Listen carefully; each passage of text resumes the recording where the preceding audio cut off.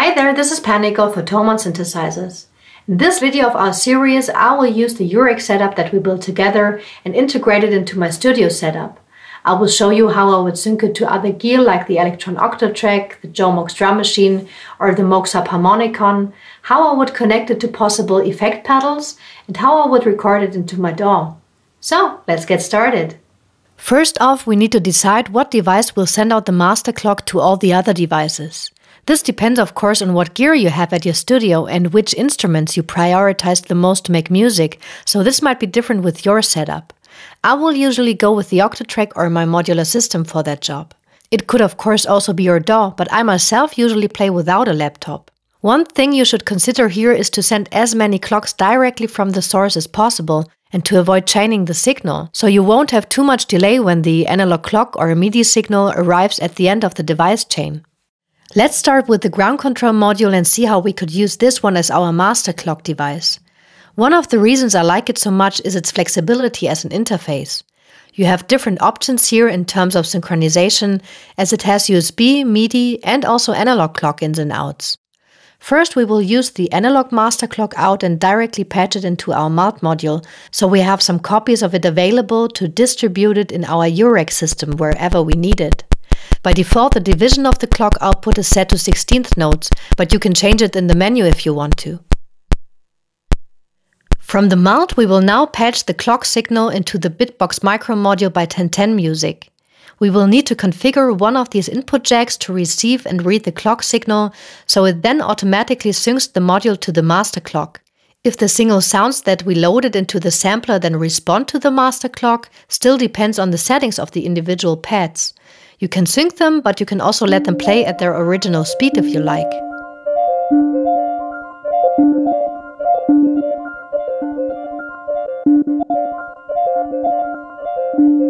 Let's include the Octatrack from Elektron to our system, which I mostly use to play back pre-recorded melodies or rhythms.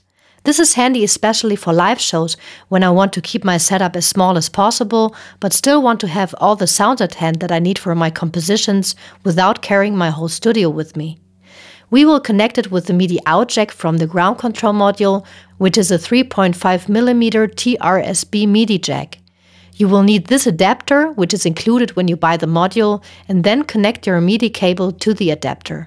And from there you can plug it into the MIDI in jack of the Octatrack.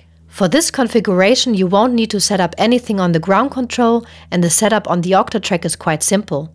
You will need to click the project button, navigate with the arrow buttons to the MIDI menu on the left side of the screen, then go to sync on the right side of the screen and then click the yes button. Here you will have to activate transport receive and clock receive and you're done.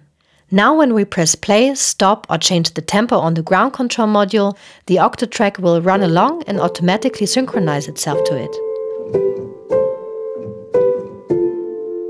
Now I would like to welcome my Jomox drum machine to the setup. You should hear its kick drum on a big PA, just amazing.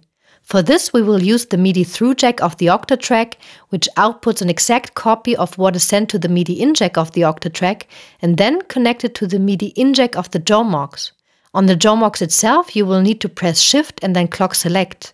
With the tempo data knob on the right, you can now select between internal and MIDI clock and we'll choose the latter for our purposes and then press enter.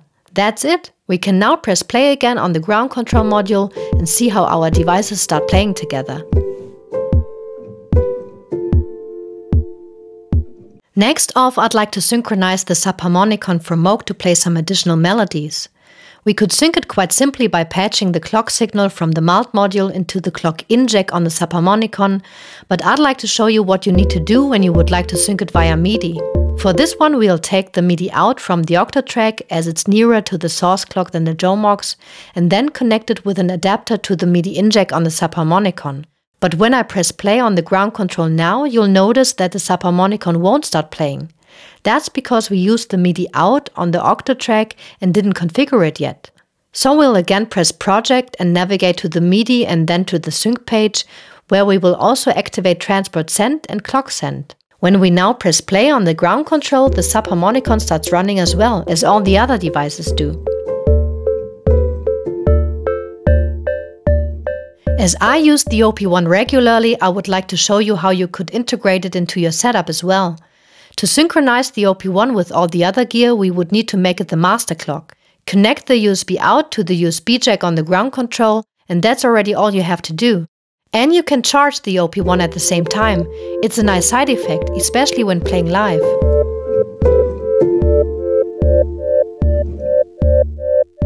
In this setup with the ground control as our master clock source, we actually don't really need the Doepfer interface module, but you could still use it to convert the signal from any MIDI keyboard to CV gate and then patch it to the modules you want, for example. I'm really having fun syncing all those instruments to each other, but I'm running out of space on my table, so let's get to the effect pedals now. When I connect external effects to my setup, I usually plug them directly to the main output of my device of choice, or I use an aux of my Eurorack or my external Soundcraft mixer. If I want to use the effect on one device only, like for example the subharmonicon, then I would connect the output of the subharmonicon directly to the effects device, where I adjust the dry-wet ratio to my liking and then send the signal to my Soundcraft mixer. If I want to use an effect pedal on more than one device like the subharmonicon and the digitone for example, then I would use the aux send of the Soundcraft mixer to send those selected instruments to the effect of my liking and then plug the output of the effect pedal back into my mixer again. The same applies to the Eurorack mixer. If you don't want to add an effect to the whole system, you can use the aux send and only send selected channels of that mixer to the external effect of choice. From there you can then plug it straight into the Soundcraft mixer and adjust the overall volume there.